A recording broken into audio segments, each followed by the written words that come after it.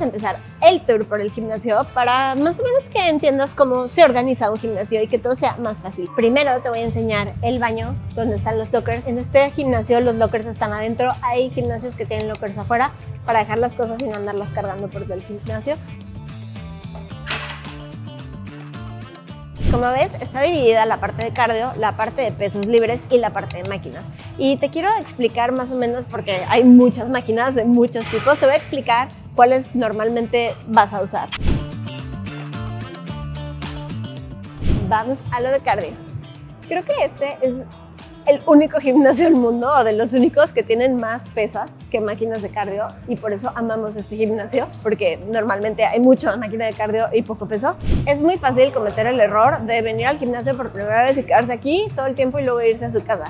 Para eso es este video, para que pierdas el miedo de irte a las pesas, que es lo más importante. La verdad es que quiero que pases el menor tiempo posible aquí, porque las pesas es mucho, mucho más importante que esto. Para bajar de peso, para fuerza, para salud, para todo. Si después quieres hacer cardio, entonces lo puedes incluir. También les voy a dejar un video de cuándo y cómo incluir cardio para que no afecte tu entrenamiento de pesas. Normalmente, en todos los gimnasios hay caminadoras, hay elípticas y hay bicicletas, como lo principal. También hay escaleras que en la vida uso porque no tiene sentido. ¿Cómo se usan estas máquinas? La mayoría de las máquinas en todo el mundo están en inglés. Entonces busca un botón verde que diga Start. Y eso va a hacer que la máquina empiece a caminar. En la caminadora hay dos cosas que puedes ajustar. La velocidad, que normalmente tiene un monito corriendo, y la inclinación, que tiene un monito así como escalando. Si quieres más velocidad, le subes Y si quieres inclinación, le subes. Aquí puedes caminar, puedes correr. Yo no voy a correr porque no me gusta y aparte embarazada me gusta menos. Entonces, otro botón importante que tienes que conocer aquí, que esto sobre todo si corres, es el botón de emergencia. Siempre es el botón más grande y más rojo que encuentres en la caminadora. Si ese botón lo paras, que para eso es, para que sea fácil de apachurrar, se para la máquina. En seco, ¿eh? también cuidado con eso. La elíptica es mucho más fácil porque ni siquiera tienes que poner el botón de inicio. Si empiezas a darle, se prende. Aquí, a diferencia de la caminadora, no puedes ajustar la velocidad, lo que puedes ajustar es la resistencia de los pedales, como en la bici. Subes la resistencia, más difícil pedalear, más baja la resistencia, más fácil pedalear. Yo en la vida le subo la resistencia porque lo uso de calentamiento y si llego a hacer algo de cardio, la verdad es que prefiero darle un poquito más rápido para incrementar el ritmo cardíaco a ponerle la resistencia a todo y cansarme de las piernas. Y la bici no la uso jamás porque no me gusta. Pero bueno, empiezas a pedalear y se va a aprender. Puedes subir la resistencia para que sea más difícil o bajarla. Y ya está. Y eso no lo usen jamás, por favor. Jamás, jamás. Esta es la zona que es la joya en todos los gimnasios. Es la zona de pesos libres. Si ves, tenemos barras, mancuernas, muchos tipos de barras, bancos, todo lo que necesitamos para poder hacer un buen entrenamiento. De hecho, si el gimnasio fuera solo esta zona, con las barras de squat y todo, estaríamos hechos. Te voy a explicar aquí, no los ejercicios, porque hay millones de ejercicios que se hacen con pesos libres, pero te voy a explicar el equipo para que conozcas qué, qué hay, cuánto pesa y demás. Tenemos las barras Z, que ya vienen armadas. Se llaman Z por esa forma tan chistosa. Eh, y siempre en estas barras puedes ver cuánto pesan a los lados. Kilos, 15 kilos, 20 kilos, 25 kilos y 30 kilos. Si es Z, es esta. Y si no es Z, son estas de acá, que es exactamente lo mismo, pero estas son barras que están normales. Rectas. Rectas. Igual acá puedes ver el peso. Muy curioso, en México lo usamos en libras y en el resto del mundo es en kilos. Aquí, por ejemplo, que estamos en España ahorita, está en kilos dato curioso. Estas barras normalmente son de 7 kilos. Hay barras igual rectas y en Z. Y estas tienen sus disquitos para que tú vayas armando los pesos. Esto nunca lo uso, la verdad. Porque, pues, si voy a usar poco peso, ya existe una barra armada para eso. Y si voy a usar más peso, pues esto tampoco aguanta muchísimo peso y uso la barra grande. Las mancuernas que usamos para un millón de ejercicios también tienen muchísimos pesos. Aquí hay 2, 3, 4, 5 kilos. De hecho, hay brincos de un kilo, de un kilo en un kilo. Y em, ya en cuanto a los pesos son más grandes, por ejemplo de 20 creo que pasamos a 22 y medio, luego 25. Si usas mancuernas, regrésalas en el orden en el que estén porque es horrible que las mancuernas estén desordenadas. Los bancos los usamos para muchísimos ejercicios y estos bancos se acomodan en diferentes posiciones. Puedes ponerlo plano, lo jalas, el segurito, y lo bajas. Asegúrate siempre que haga clic cuando lo terminas de usar y lo puedes poner hasta completamente recto. Lo más importante en cualquier gimnasio y es que haya rack con barra para hacer sentadilla libre. O sea, no la Smith que ahorita pasamos a eso. Este gimnasio nos encanta porque tiene uno, dos, tres racks de sentadilla. Los racks tienen estos ganchos que es donde vas a acomodar la barra. Escoges la altura, lo pones y lo giras para sacarlo es igual. Muchos tienen número a los lados no todos, pero muchos. Si tiene número es más fácil porque puedes ver en qué número lo pusiste y si no, pues hay que hacer unas pruebas para ver que todo esté acomodado correctamente. Esta es una barra olímpica. Las barras olímpicas pesan 20 kilos o 45 libras si están en libras. Si no sabes si tu barra es olímpica, siempre puedes revisar aquí. Normalmente tienen el peso escrito. Hay barras que son más pequeñas, normalmente son de 15 kilos, ¿no? ¿Y en libras cuánto es? 35. 35. Y aquí es donde vamos a hacer las sentadillas. Las barras que ves abajo son de seguridad, por si te quedas abajo y no puedes subir. Entonces la sueltas y no cae en el piso. Pero, siendo bien honestos, cuando entrenamos no para powerlifting, o sea que entrenamos para vernos bien por salud, es muy raro que uses un peso que sea tan, tan, tan, tan, tan, tan estresante que tengas que soltar la barra. Importante, estos son discos olímpicos. Los discos olímpicos son diferentes a los discos de gimnasia. No todo el mundo tiene discos olímpicos. La diferencia con los discos olímpicos, pues obviamente es el tamaño. Estos son más anchos y son más eh, grandes. Y los de gimnasio normalmente tienen agarraderitas y son más chiquitos. O si ves es más corto el disco. Si hay discos olímpicos mejor, porque muchos movimientos te van a quedar más cómodos, por ejemplo, si haces un peso muerto. La otra es que estos discos están hechos para rebotar en el piso. No rebotar, o sea, porque no rebotan como pelota, pero como que absorben el impacto.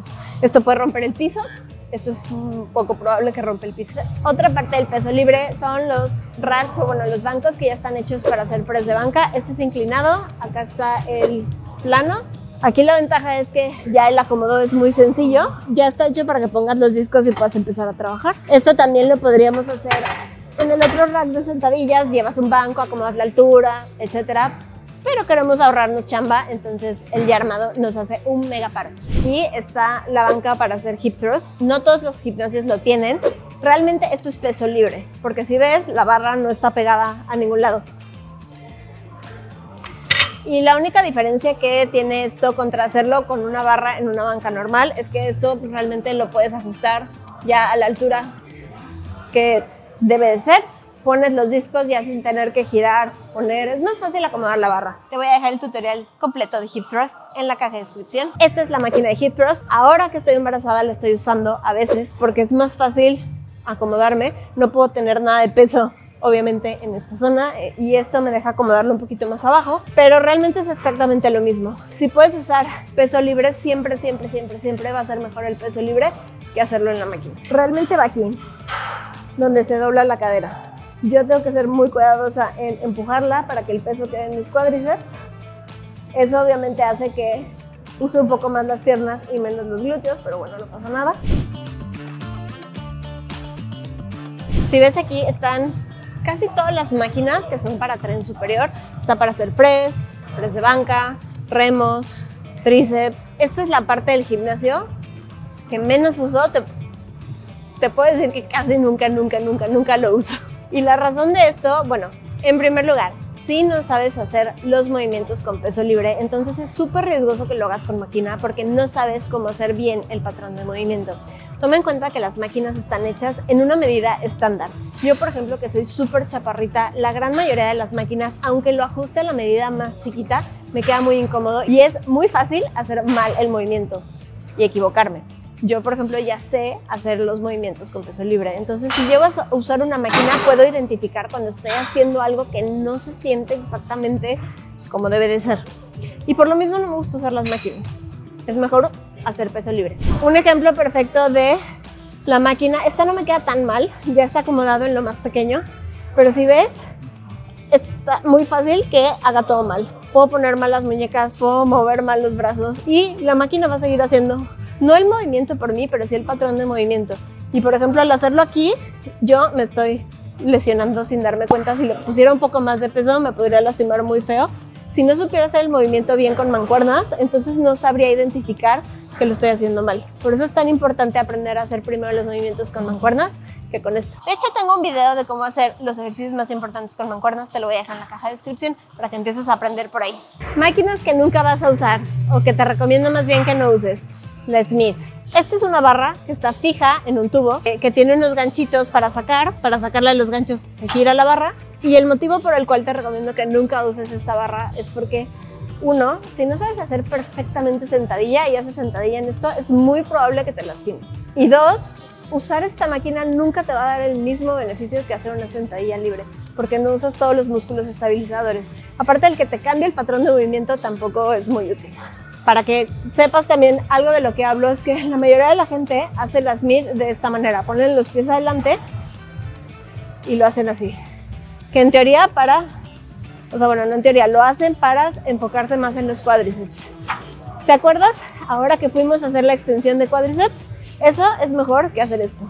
Y esto es mucho más lesivo que la máquina que realmente si lo haces correctamente no te va a lesionar. Esto es muy probable que te lastime. Si vas a usar la Smith para hacer sentadilla, lo que tienes que hacer es una sentadilla como lo harías en la barra libre, con los pies anchos de cadera, con la espalda recta y bajando con las rodillas hacia afuera, como hacer una sentadilla normal. La Smith no te permite hacer el movimiento natural.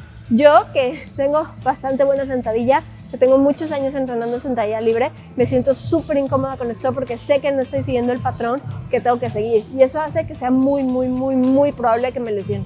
Por eso, Smith, no. Quiero que sepan que este video ha sido muy difícil de grabar porque pues sí hay gente en el gym y tengo que correr a las máquinas cada vez que alguien, uy, esta máquina es súper útil.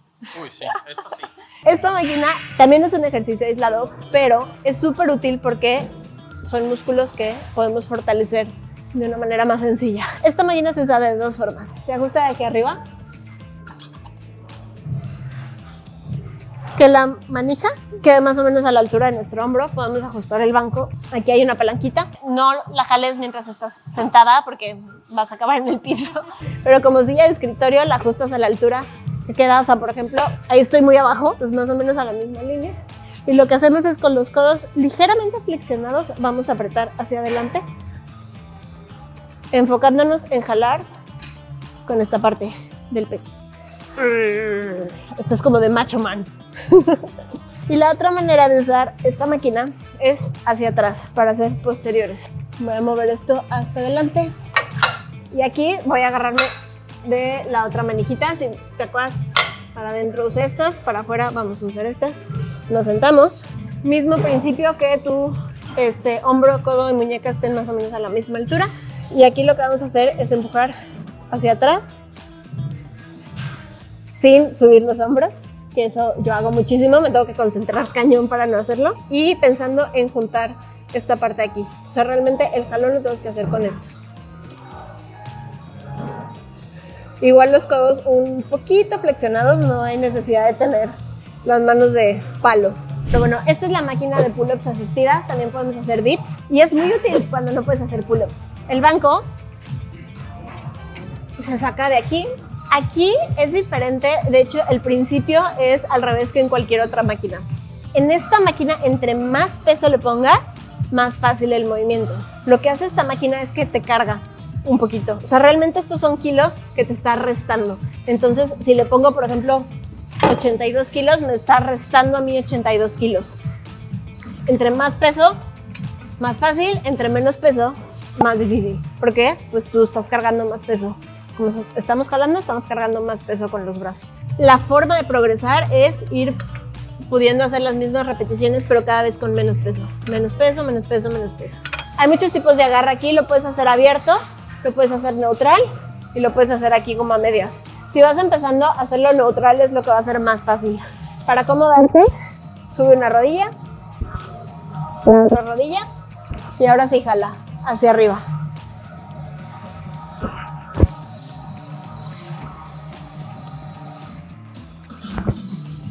Cuando acabes, pon primero un pie, regresa el banco lentamente porque no hay que maltratar las máquinas y listo. Esta máquina también la puedes usar para hacer dips, que el principio es el mismo. Em, de estos agarres pones primero una rodilla, luego la otra y luego bajas acá y vuelves a subir. El único ejercicio que si haces aquí, voy a ir yo a darte una cachetada, es los que empiezan a patear aquí con la... O sea, ¿qué es esto? Esto no es un ejercicio, por el amor de Dios. Si ves a alguien hacer eso en el ejercicio, corre, no lo hagas tú. Nunca en la vida, por favor. Ejercicio inventado no sirve de nada. Para eso hacemos sentadillas, para eso vamos a la prensa de piernas, para eso hacemos desplantes, para eso hacemos curls, para eso hacemos patadas de glúteo. Esto no sirve de nada. Las poleas. Esto es algo que a la gente le encanta. La verdad son súper buenas cuando eres principiante porque puedes hacer muchos ejercicios y ajustando los pesos a muy bajito. Este, por ejemplo, empieza en 2 kilos y medio. Y por lo mismo siempre están atascadas. Digo, ahora no porque el gimnasio está casi vacío, pero si vas a la hora pico, aquí parece la guerra. Esto es súper fácil de usar porque se ajusta, se sube, se baja. Puedes hacer patadas, puedes hacer brazo, puedes hacer jalones. Hay miles de ejercicios que se pueden hacer aquí. Pero, ojo, Casi todos los ejercicios que hacemos en, los, en las poleas son ejercicios accesorios, que significa que son complementarios a la base de nuestro entrenamiento, que son los ejercicios compuestos y que hacemos con pesos libres. Por eso esto se hace después de los pesos libres y no al principio.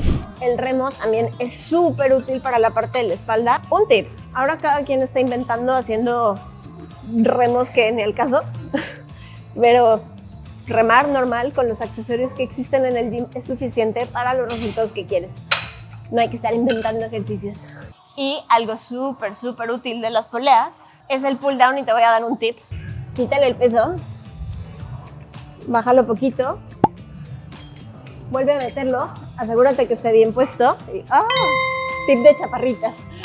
Y esto es súper útil si no puedes hacer pull-ups todavía, porque si ves es el mismo patrón de movimiento, pero pues obviamente con menos peso y mucho más fácil.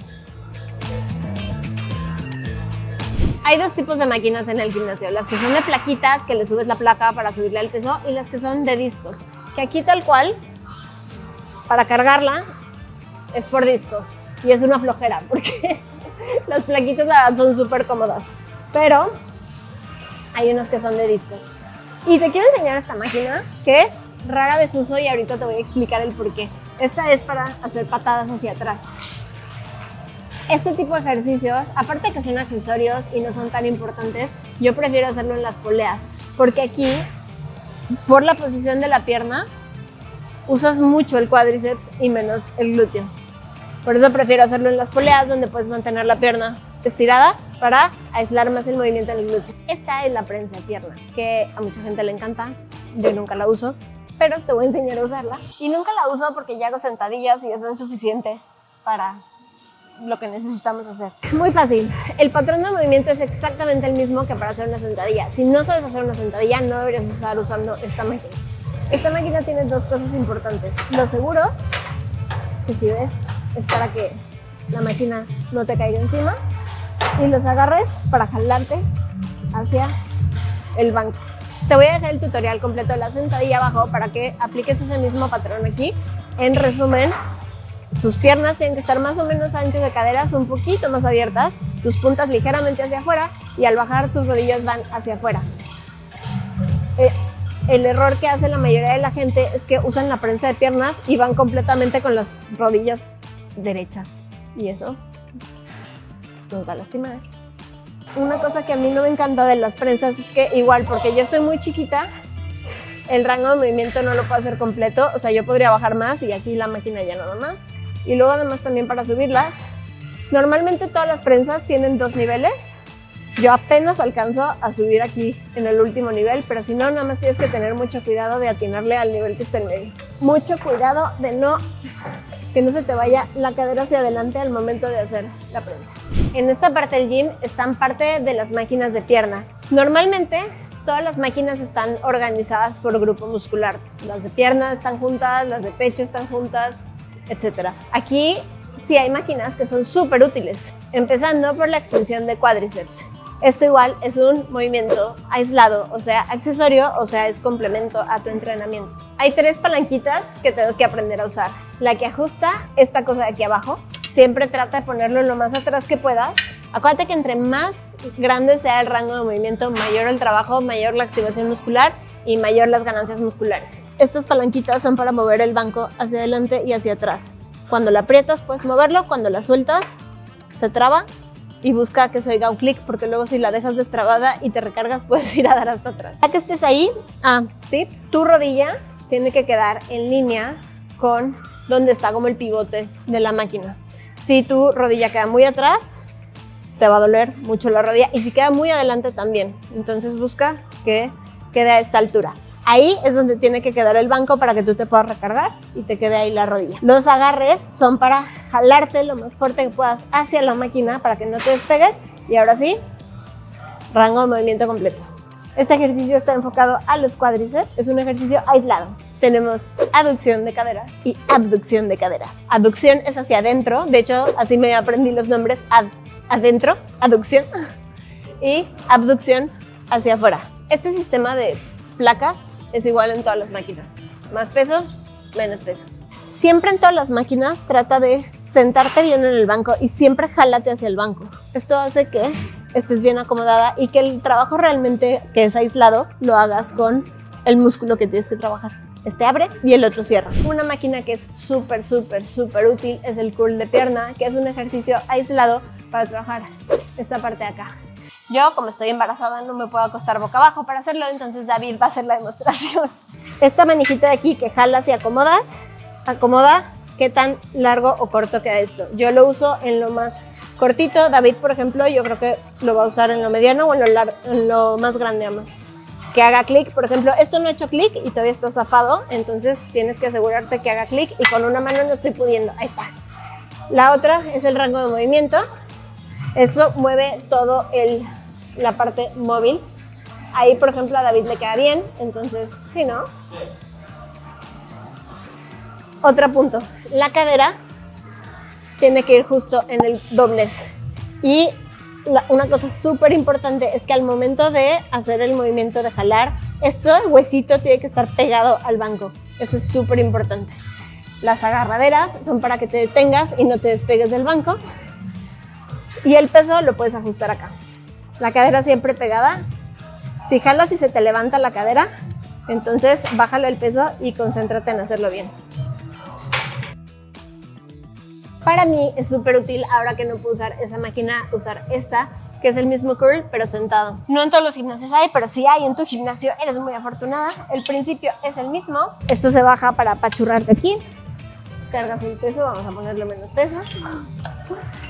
Y hay que jalar. Es exactamente lo mismo que el curl acostado, pero aquí eh, pues lo puedo hacer en este momento. Estas agarraderas, en vez de jalarte, aquí te empujas porque lo que queremos es estar lo más pegadas al banco posible para enfocar bien el movimiento en lo que tenemos que estar usando. Ese es el tour alrededor del gym. Más o menos te expliqué las cosas que realmente vas a usar. Hay muchas máquinas, no te sientas tampoco como eh, abrumada por tantas cosas. No tienes que usar todo y no tienes que saber usar todo desde un principio.